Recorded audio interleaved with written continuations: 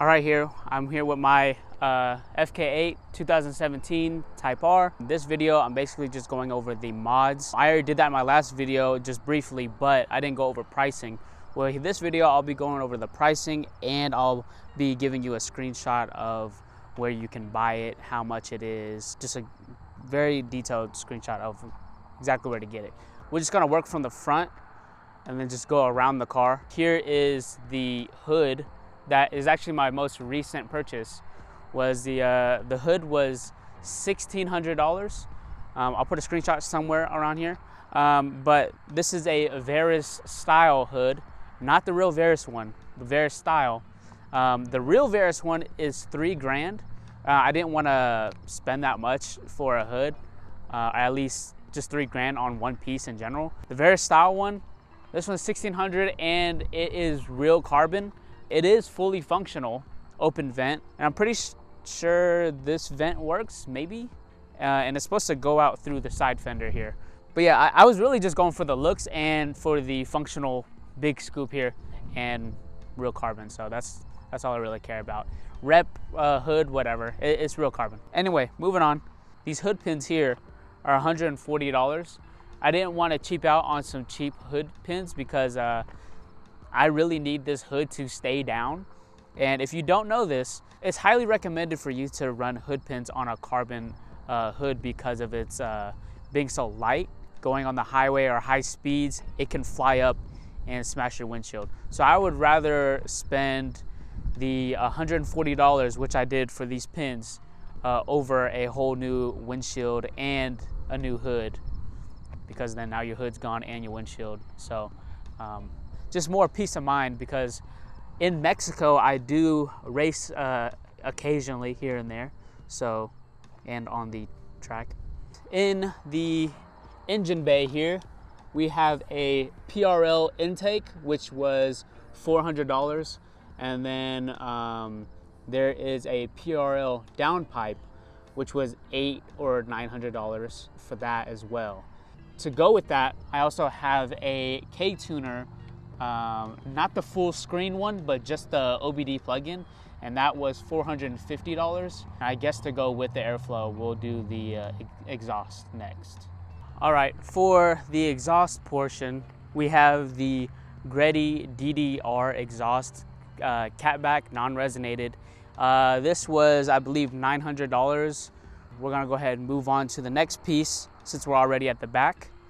The Mugen rear underspoiler.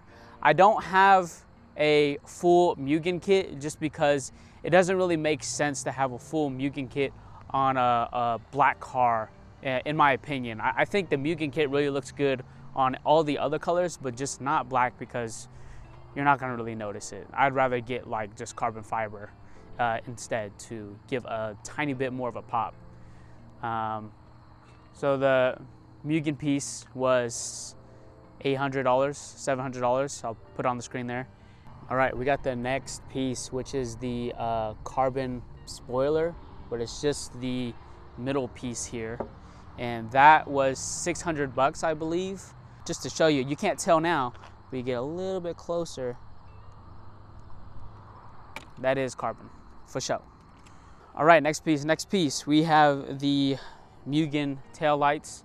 Uh, these are not real Mugen taillights. Um, I think the real ones were 600 to a thousand, I think. Um, I have gotten these for like 400, four or 500, something like that. All right, I had to grab my keys out of the car, but um, these are sequential and I really just wanted sequential um, all the way around. I forgot to actually show you the, the, uh, the headlights. Uh, they were uh, sequential as well. For functionality, I guess I should just turn them on to show you in case you are uh, debating on getting it and then you have a reference here.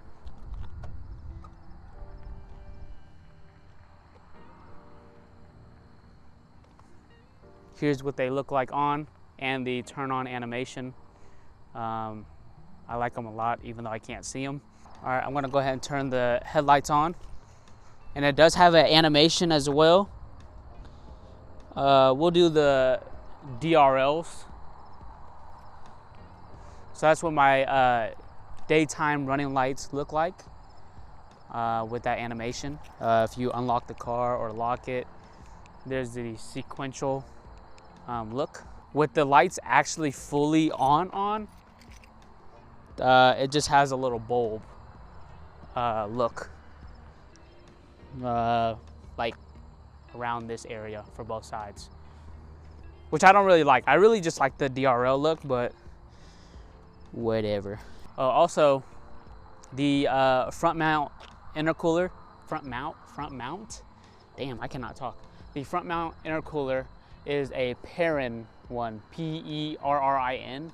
Uh, I've, I'm under a rock, so I didn't know that brand, but um, that that one actually came with the car. But we're gonna include it in the mod list anyway, just because I bought the car. But anyway, uh, I'll I forgot what the price is on that one. I'll put it up, obviously, and you'll see from me. The main part of the build is the wheels. So these are Rays Gram Lights 57DR. These wheels are wrapped in the Continental Extreme Contact uh, DWS 06 Plus. These are all season uh, tire. Very smooth ride. So, uh, they said it was like a soft tire, which uh, I totally agree. It's a very comfortable ride. All right, we're in the driver's seat. The only interior mod I have in here, uh, I don't know if you can even call this a mod, but it's a subwoofer in the back. It is one 12 inch, but I mean, obviously you can get that in any car. Um, but the actual real mod I have in here is just a shift knob. This is the um, Acuity shift knob. This is the one that, uh, the insulated one, so it helps it not get too like hot or too cold. Uh, that was 140 bucks. And I actually have a different Acuity shift knob. It's a red one that's aluminum, but in the summer, it burns the hell out of my hand. Like uh, on a 90 degree day, it only takes a 90 degree day where I shit you not, if you could probably cook an egg on the shift knob. That's how hot it is. Oh, in my last video, I forgot that I could turn down the gain of my mic. Or I didn't I didn't even think about it, but I will do it for this now that I'm gonna get an audio clip again for the exhaust, just to give you more justification if you wanna buy the exhaust. And we'll do some intake uh, sound clips and maybe some driving, who knows. But uh, let's get into the sound clips.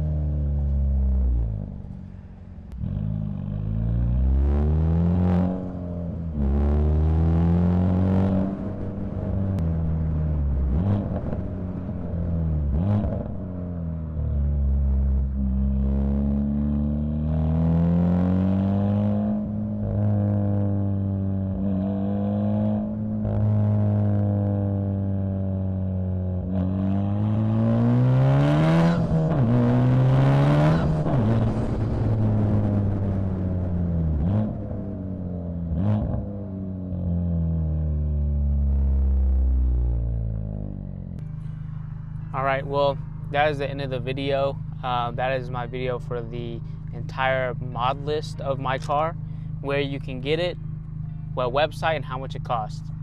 Hopefully, uh, if you are in the market or will be in the market for an FK8, this was uh, helpful for you. Um, or if you're just here just to, uh, if you just like FK8 content and stuff, intake noises and the uh, exhaust clips. I think the next video will be a ride along, maybe day in the life of FK8.